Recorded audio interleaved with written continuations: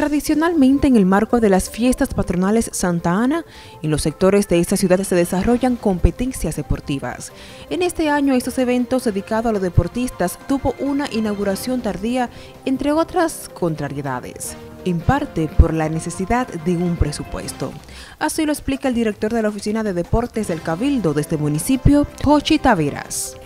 En los Juegos Municipales Santa Ana 2018 estaban supuestos a arrancar el lunes eh, comenzaba la semana aniversaria de nuestras fiestas patronales.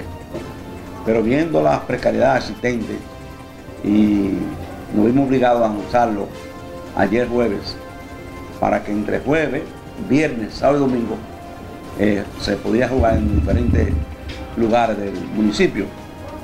Eh, la idea nuestra como director del Departamento de Deporte es tratar de concatenar un proyecto más ambicioso donde nuestro pueblo pudiera disfrutar de nuestras fiestas patronales que son nuestras propias fiestas. Taveras dijo además que es necesario no depender de otros departamentos como es el caso actual para recibir presupuesto para la compra de utilería y organización, lo que mejoraría de forma significativa la calidad de los eventos deportivos organizados por el departamento que dirige se hizo algo dentro de lo que es la parte delimitante que tenemos, porque el problema es de recursos, que ojalá los regidores de nuestra sala capitular, que son los, los, que determinan los recursos del, del ayuntamiento, pudieran darse cuenta que la parte recreativa también hay que dársela al pueblo, que el pueblo también se merece esa parte.